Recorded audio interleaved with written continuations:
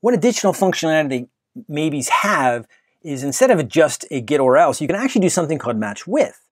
And if you provide an object, which in our case maybe just says just or nothing, it'll match on which one it is. So if it's a just, it'll call this function. If it's a nothing, it'll call this function. So instead of get or else, you can actually run a function. The just will have the value. It's the first and only parameter that you destructure. It's the same for anything you put in it. And nothing never has a value because it's nothing.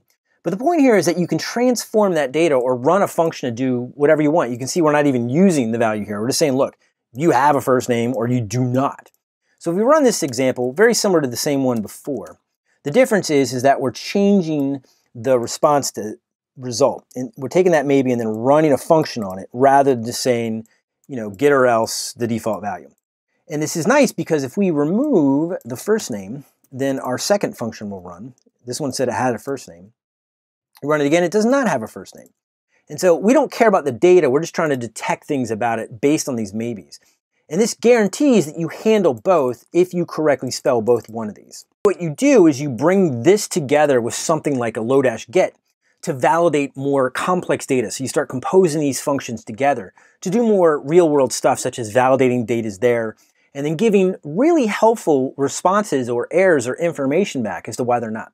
So in the next example, we'll bring them all together and show you how you can validate a bearer token for